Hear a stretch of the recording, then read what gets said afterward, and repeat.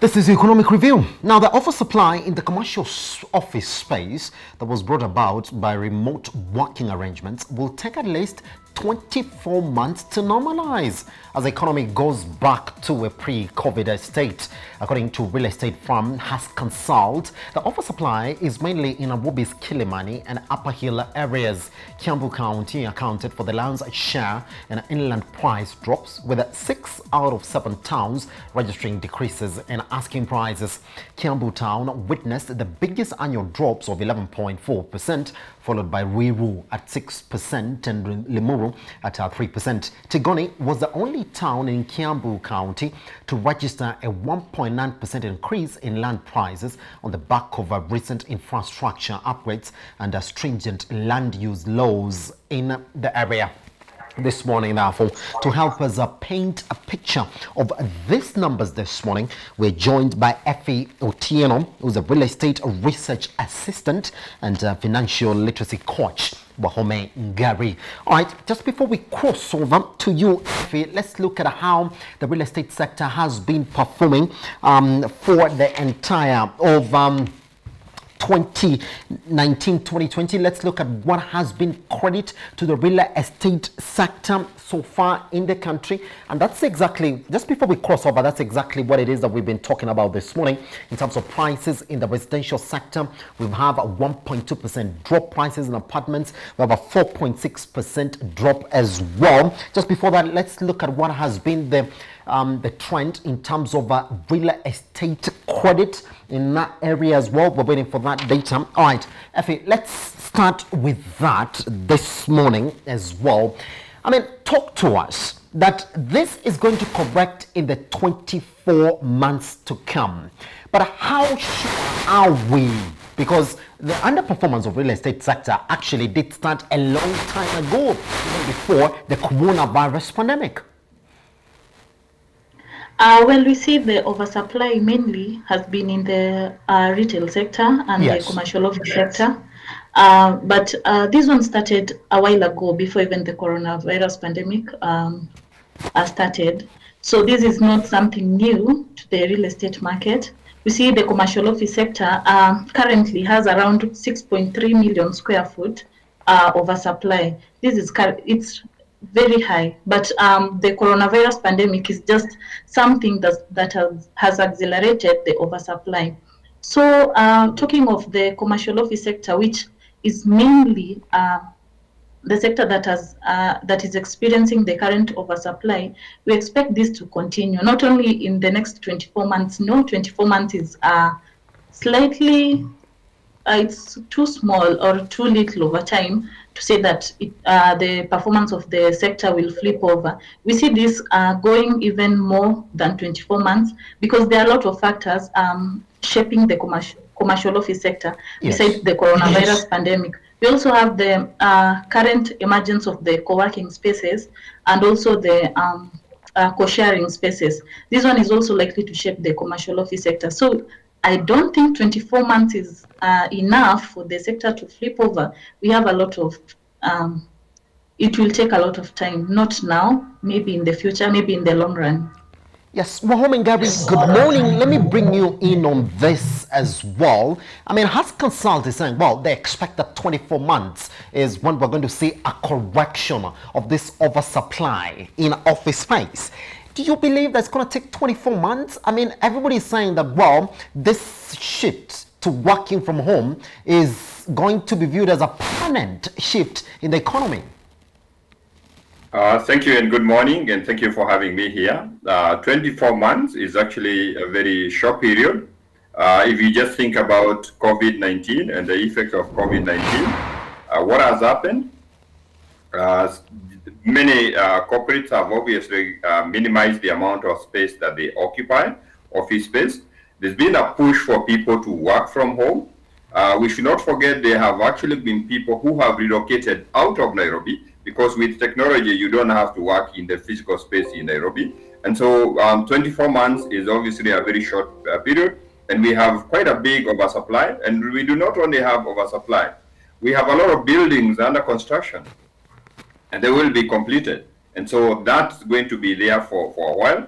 Um, the, the, other thing is we have a lot of infrastructure developments that are going to change dynamics. Yes. Uh, if we get the expressway working, it's easier for people to work from away uh, from the CBD or the city, and they can actually be very functional. So combined effect of all these things, we are going to see a scatter of people working away. And so this oversupply is not going to be addressed in 24 uh, months. That's too short a period.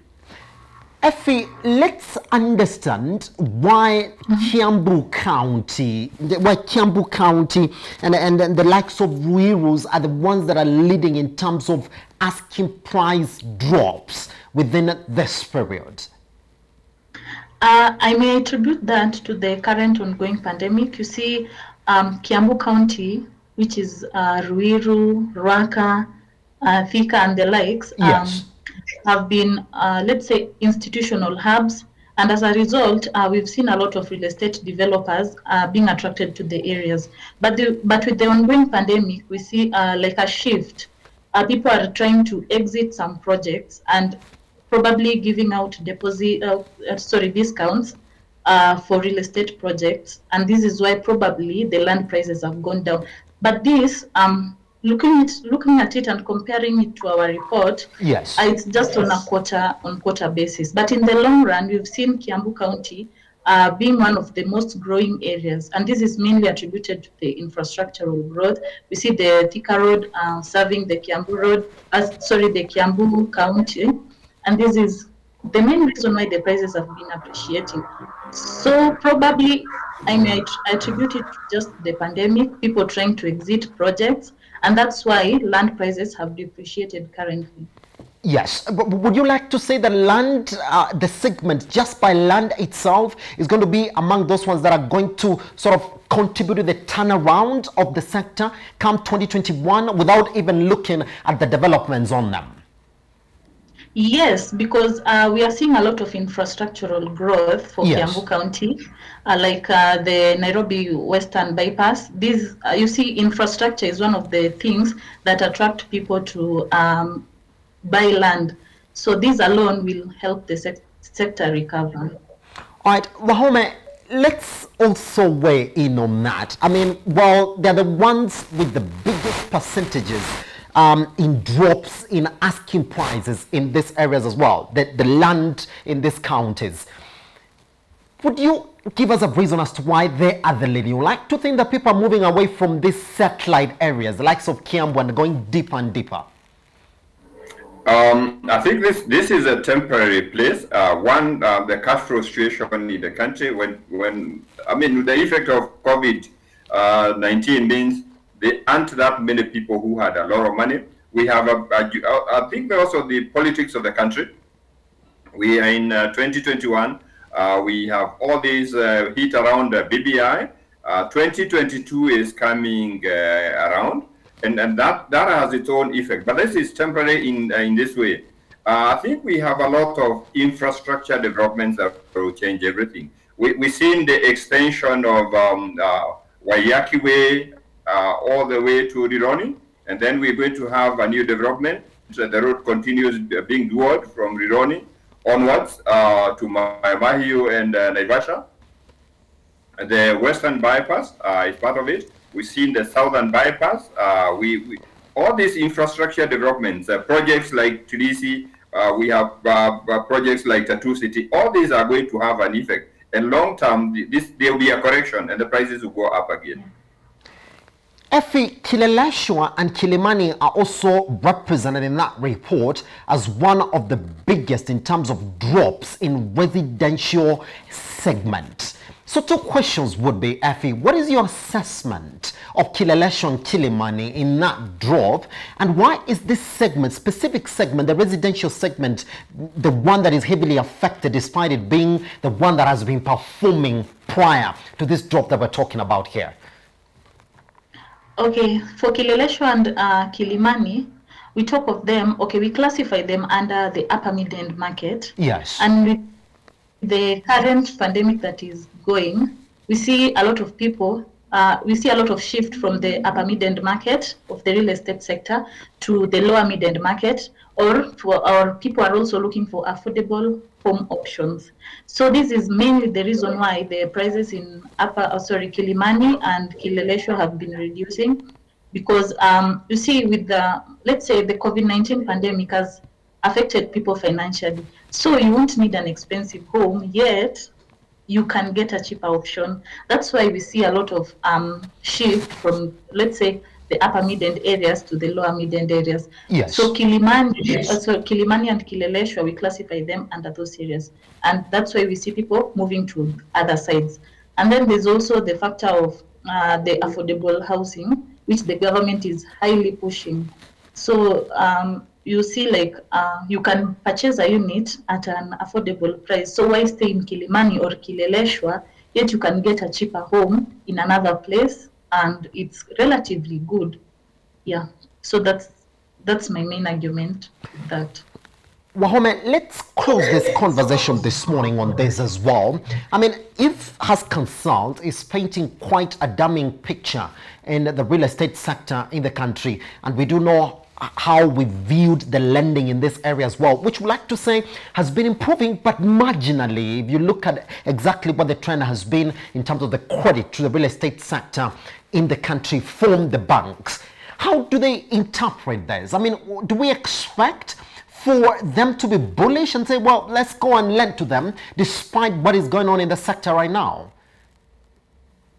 Um, I, I, think we, we are developing nation. We are growing nation. The financial services sector and including banks are very important component, that are part of this. Um, banks are very innovative, very creative. They will actually look at areas where uh, people need money so that they can be able to grow. We talked about all this infrastructure development, which is going to attract new kind of settlements. So the banks will obviously find their space to be able to lend to that. Uh, we talked about the, the, lower levels and the push for government and um, uh, affordable housing. I think there's a new dimension that has come, which is a bit silent. A lot of people have not been able to look at it. The fact that you can actually use your pension fund to be able to own a home, and that's going to affect because maybe people who would have borrowed now not borrow. They will actually be able to take their pension. But this is the this is not the high end. This is the affordable housing area. So there will be a couple of those uh, dynamics that will come in there, but I still see the banking sector will uh, be required to finance a lot of uh, uh infrastructure and real estate developments that will continue keep coming in. If people retreat away from the city, there are functions they will still require there. We will. We are used to the, the say the shopping culture. We now love the shopping malls. So the shopping malls will keep going away from the city. And so we need money to develop those kind of infrastructure. We have a taste for good schools. So we will still need good schools in all those places. Uh, we need healthcare. And we're going to see a lot of these requiring funding. And I'm sure the banks have their space. Effie, how do banks view uh, the real estate sector in the wake of the COVID-19 pandemic and, how, what has been a sluggish performance of the sector from 2018 up to where we are right now in 2021? Uh, currently, real estate sector is considered as a very risky uh, investment, mainly because uh, of what we are seeing happening uh, probably the COVID-19 pandemic. So this has resulted to lenders, not only banks, but other lenders like the SACCOs, are shying away from uh, giving credit. And this probably will be in the short term because we are yet to recover from the effects of the pandemic. So currently the creditors are taking um, taking it back or relying low uh, uh, in their underwriting approach as a strategy probably to cushion themselves against the pandemic. Um, but in the long run, we expect it to be better. So currently, banks consider real estate um, as a risky environment uh, investment. But in the future, I think I think things will get better. Effie, clear for us this conversation of real estate. What is your general outlook of the sector in in this first quarter of 2021? Our outlook of the sector is neutral. Uh, however, we are negative for the commercial office sector based on the current oversupply. for the residential sector, we are also neutral because as much as we are seeing prices depreciating, it's not on all sectors. We have the affordable housing uh, initiative by the government cushioning the real estate sector. especially in the residential markets. Uh, however, um, we see an oversupply in the higher end uh, market, which is affecting the real estate performance, mainly in the residential market. For the retail um, sector, we are also neutral. As much as the sector has been uh, underperforming, we also have some things that um, are cushioning the performance of the sector, like uh, Kenya being ranked number 56 uh, in the ease of doing business. We also have the positive demographics, the uh, infrastructural developments that are um, cushioning the, real, uh, the residential sector. For land, we are positive.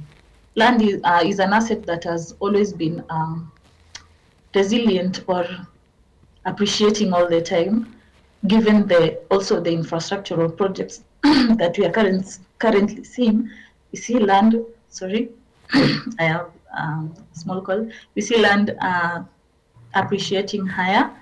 And okay, I've mentioned residential land, commercial office. Commercial office, we are still negative because of the oversupply, um, people working from home, and also the growing popularity of the uh, co-working office spaces. For listed real estate sector, which is also um, an aspect of the real estate market, we are uh, negative because of the decline in the share prices. So overall, we are neutral because as much as we have some negative bits, we also have some positive bits and neutral bits. All of those, we can't say that it's all bad for the real estate sector. So we have a neutral outlook. Pretty much. Effie, thank you very much for joining us this morning for this discussion mm -hmm. on the real estate sector performance as we get out of what has been the worst uh, for economy 2020 under the COVID-19 pandemic. Thank you. All right. Meanwhile, a new survey by Stanbic Bank Kenya shows that economic conditions in the Kenyan private sector during the month of January were at their best level in three months, marking the seventh consecutive month of growth since the COVID-19 outbreak. According to Stanbic Purchasing Managers Index PMI survey, rising levels of uh, new work encouraged several business to hire additional staff. Now, the PMI posted 53.2 in January, up from 51.4 in December to the highest reading for three months. Export sales also continue to rise, although the upturn slowed to the weakest for seven months. Firms highlighted that the reopening of the businesses and improved cash flow in the economy helped to generate higher customer spending. Good. Just before we look at that data, it therefore begs for us to look at what has been the unemployment levels in the country because they're saying, well, job openings are expanding. Let's go back to quarter three of 2020 because those are the numbers that we have. And then we'll look at the unemployment levels. Okay, let's shift to that data this morning. And the long-term unemployment, which we are going to define as people who have been without work for 52 weeks. That's more than one year. We're calling it the biggest cohort there is under 20 to 24, uh, where we have 103,714 as well. Now, the rate of employment by age cohort, we're calling it a strict definition, and by that we mean people who are currently or have been without work for more than a four weeks. And you can actually see that 20 to 24 again has the biggest percentage all the way to 60 to 64 as well sort of representing the general trend that we've seen all the way from quarter two again of 2020 again under that as well we do have um, 20 to 24 again representing the biggest one. And you can see that jump to 442 936,000 with 25 and 29 also representing the biggest cohort in terms of unemployment in the country. Fine. Wahome we're with you now Again, they're saying that, well, private sector activity is now rebounding and we intend to see that. Do you agree with that assessment of the PMI report? And do we continue to, are we going to continue to, to see this grow in 2021? Uh, let's borrow from what has been in the past. We, I think we have an idea of what we call the Darwin theory. Yes. That uh, when there are changes, um, it is not the strongest to survive. It is not the fastest. It is the one who is capable of adapting. And what private sector has actually done because of COVID-19 is to look for ways to continue their business and get it more cost efficient.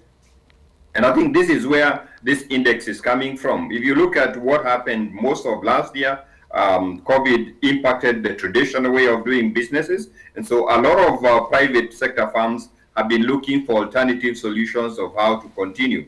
There's been big use of technology. If people have to work from home, we have to look for ways to do all the continuities. We've seen people changing um, the, their distribution model, um, their management model, um, their interaction with their clients. And, and I think now we've gotten to a point where now people have found the formula that is working, and that is where this growth is coming from. So if it is people in the service industry, if it's people in the production industry, just a good example is schools. If you think about schools, the private schools, because of COVID-19, a lot of them were able to go online with their with their pupils. Now the schools have reopened, so there's actually more interaction. The facets of the school that was not working, the busing system, you know, the catering system and all those, now those are working. Just, just a small example to show you now what else has been activated. If the buses are working, we're using more fuel. No, we have to keep the drivers hired. If the kitchen is working, we have all those things that we have to buy to run the school. And I think that is where that uh, indication is coming from. That the systems the private sector has looked into is largely working now and they're able to do more consumption and able to do more uh, production. Under that, uh, this PMI report is also saying that we do expect that um, our economy is going to rebound to 5%. Wahome, we've seen a lot of numbers. Uh, Treasury is optimistic that it might jump to 6.2%. Other analysts are saying 4.9 on the optimistic end. Now, the PMI report is saying that 5% will be our number at this year, which also means that we have to peg that economic growth within the number of job hirings that we're going to see within the economy. Now, 2021 has started. We're still navigating the effects of the coronavirus pandemic, and we're still talking about how some companies now is when they're rethinking of going back to more hirings just to go back to the um, to their pre-COVID-19 state.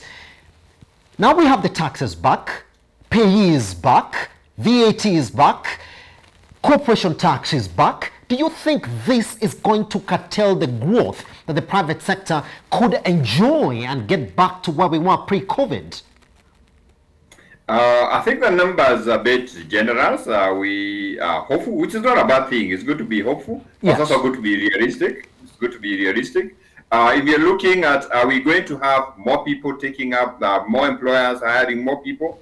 I think my answer is that's not going to be a big possibility people are grappling with the people they had hired before. And because they don't want to lay them off, there's been a lot of reorientation, restructuring of how the jobs are being done. And you can look at any sector, whether we look at the media sector, whether we look at the transport sector, we look at the school system, uh, we do not see uh, employers taking up a lot of new employees. We are, most of them are concentrating in configuring the workforce they have. We don't want the people to go but we might find a way of keeping them productive. And so these numbers are a bit uh, generous. Yes, uh, the, ta the taxes are back. We've seen all the taxes are back. And they will have an effect. If your productivity is not as high as it was before, and the taxes are higher, that's going to have some some some sort of uh, pull down uh, that that is going to slow things down. And that's why I say the numbers are a bit generous. Um, at the national level, I think we don't have the actual forecast to be able to move ahead. Um, the, the, the, leadership of the country is not looking at the economic side of things. I think we are looking at the political side of things. And that always has an effect on the things that we're going to do. We have seen a curtailment of direct foreign investment because people are not certain what's going to happen. So if they wanted to come and invest, they are holding their money. Every time the money comes from outside into the country, that creates possibilities of new jobs and new establishments. And so we are not likely to see a lot of that in the next two years. And so that's why I say these numbers are a bit too generous. Yes. All right. Wahome, look at that number that we're playing with. It's 5% that um, this PMI, Stanbic PMI report is actually trying to sort of forecast our growth to grow by this year. But what has changed, Wahome? I mean, we're still operating under curfew. We're still observing the measures the government has put in place just to make sure that we don't become predisposed to infections within the economy as well. What has changed? Could, could, we, could we look at that and then say maybe it's too optimistic? There's something that has changed. We must, we must obviously able to see the mental shift. If you're looking what has changed, the mind just about a month from now, last year, we were all full of fear and dread and not knowing what to do next. Now, within the whole year, we have learned a lot of things. We have learned how to operate. Our mind has told us that this COVID situation is not getting away tomorrow. Yes. You know, initially when we closed, we thought it was a week or two.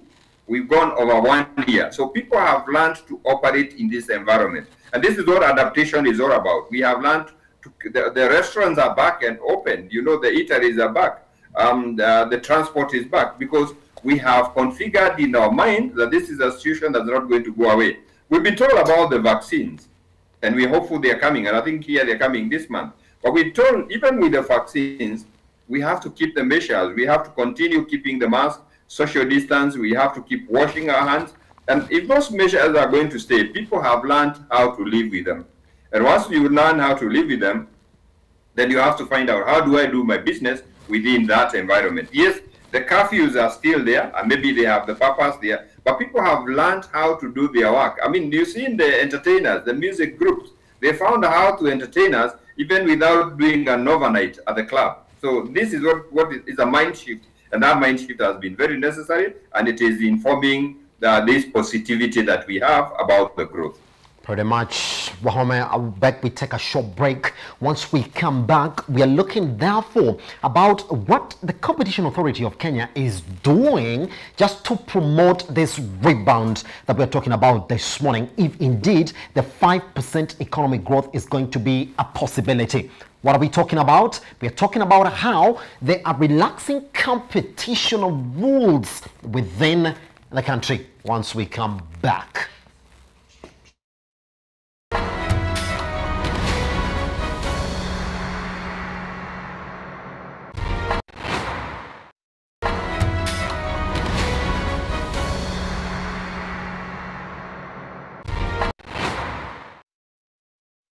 Welcome back to Metropol Television. You're still watching a Business AM's economic review where we're telling you the biggest headlines that you're waking up to this morning as you're closing your week. Now, the coronavirus pandemic has forced the Competition Authority of Kenya to relax rules around competition to allow companies to temporarily collaborate in mitigating the effects of the pandemic. Now, the CAK said it will relax the rules under restrictive trade practices to spur recovery in certain critical economic sectors, which include manufacturing, private healthcare and research services, horticulture, aviation and tourism. Now, the Competition Act, as it said, curtails restrictive trade practices such as sharing of strategic market information, joint distributorship and supply agreements, including marketing or sales strategies and also research into new markets. CAK Director General Wangombe Kariuki, while providing details to the new framework, noted, and I quote, however, the authority, that is CAK, is cognizant of the fact that COVID-19 pandemic has impacted businesses negatively, reducing their capacity to penetrate and expand into the new markets and, to some extent, depriving them the capacity to adequately serve all the geographical markets in Kenya. And quote, Section 30 Part 2 of the Competition Act allows for exemptions from restrictive trade practices with the approval of Finance Cabinet Secretary. But still, with Wahome Ngari this morning, Mr. Wahome, how strong are the anti-competition laws in Kenya? Because now it's when we're getting it for the first time that, well, they are going to be relaxed. Um, I think uh, they, they are reasonable uh, they work. They may not be st stifling, but they, they, they, work well, and um, that's why we've not had a lot of uh, conflict. So we cannot say they are excessive. I think we can say they are reasonable. Uh, but um, in times like this, we need to be able to function together so that we can grow um, the economy and the people can have quality life. We are heading towards Vision 2030, and we need to be a middle income country where people have a good standard of living. And so it is, it is obviously a good thing that we can be able to share what we have so that then with that integration, we can be able to do a bit more. Just outside um, the, the, the, the CAK's authority, yes. let's take an example. Uh, just think about Kenya Power and KRA. Now, Kenya Power is able to supply everybody with electricity. So they actually literally know where everybody is. Now, KRA is looking for the same people so that they pay taxes. And Nairobi um, county government might be looking for the same people to pay the run rate. What would happen if that information was in the same database shared? You can actually be able to see everybody would actually be able to pay their taxes, everybody will be able to pay their rate because we have all the data. But when it is disjointed, Kenya Power is able to sell you electricity, but Nairobi um, City Hall doesn't exactly know where you are, and KRA also doesn't know where you are. I'm just using that to illustrate how effective it can be if we are able to share those resources, because that would be very good in integrating um, uh, the, the, the, economy. And I, I bet that's where Huduma number is coming from. Yes. Again, for government services, that's where it is coming from. But nothing stops us from taking it on to another level. But we must be obviously be cognizant of the need to secure people and their privacy and what they have. And I think that is what the Data Protection Act is aspiring to do, so that yes, even if you, you have somebody's data, there's a limit as to what you can be able to do with it. Let's ask ourselves the question, Wahome Ngari. How important is this move? And is that what local businesses need now more than ever? It's, a, it's an important move, and I think, yes, local businesses need that more now than ever. Yes. Like you said about um, penetrating the market, they are people who have leverage. They've been able to get to a market space, but they are not providing all the services that are required. So somebody else can be able to ride on that to be able to provide another service. What's going to happen on the overall for the consumer? I like talking about the consumer because a lot of times um, I'm, I'm, a financial coach and I deal with individuals. The cost of the cost of delivery will go low. Now the cost of the services will go low. We'll be able to consume at a lower cost. And that, that's, that's the way we, we can actually be able to see it. So that if, if all these people are able to share the information, they'll be able to reach me and they'll be able to reach me at a convenient cost. So I'll not have to pay a premium that is not necessary just because of inefficiency.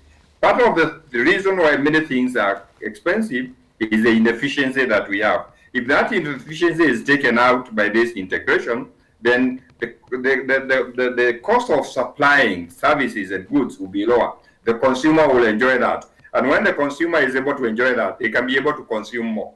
When we consume more, we create room for production, and that's how we grow the economy. So that's why it is very, very important. Yes. And let me let me point you out to a specific aspect that they are actually alluding to in this relaxation of this uh, competition. Now they're saying that the sectors that are going to consider are the ones that are critical during this time of the COVID-19 pandemic.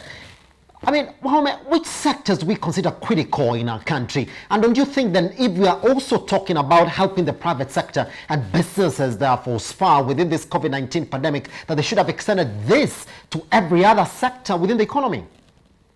Uh, you always start somewhere. You can't start everywhere. Yes. So we start somewhere. It's okay. Now, who is critical in these uh, times?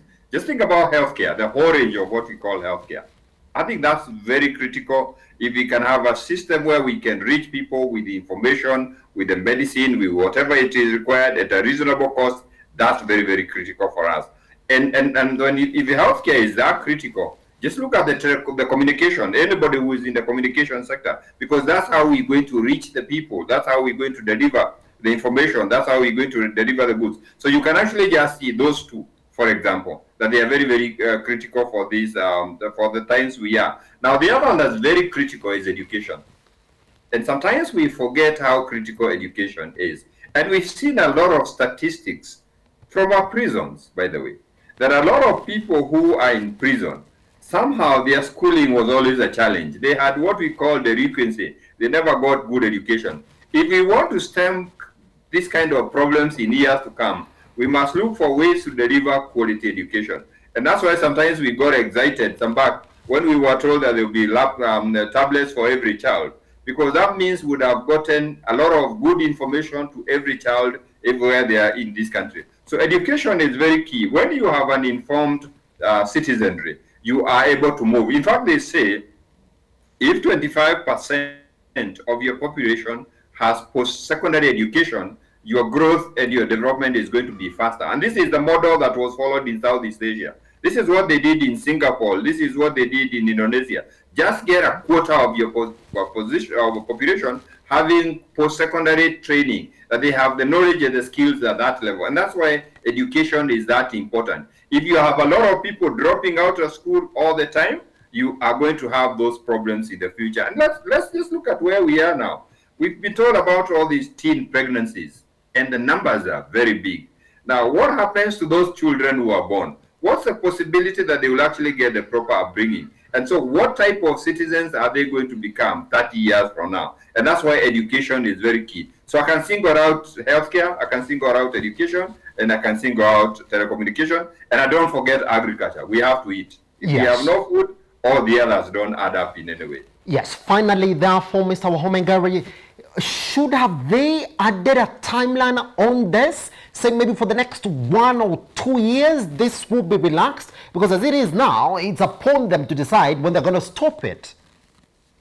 I would want to uh, hold a position that is being done in the best interest of the nation. Yes. And a time frame, time frames are very, very important. When you leave things open-ended, they never happen. So time frames are very, very important. Yes, this should have been a time frame so that then we have, um, by this time we open up this sector, by this time we open up this sector. It also helps the people you are working with to prepare because it is not just opening. They have preparation they need to do on their end and that would have been very, very helpful. Long term, we, we see that as the way to grow this country. We cannot be different compartments. Organizations that have learned like different compartments have come to an end we, we have uh, many businesses that have businesses or government departments that have fallen in tough times because they were not able to adapt and change. And so this integration is very, very healthy and timelines would work very well to help everybody to prepare and make the best use of the relaxation that is there. Pretty much, Mr. Wahome thank you very much for taking your time this morning to speak to us here at Metropol Television. We really appreciate it, sir. Thank you. Thank you for having me here. And I say all the best. Right. Well, we come to the end of our show this morning. Good morning.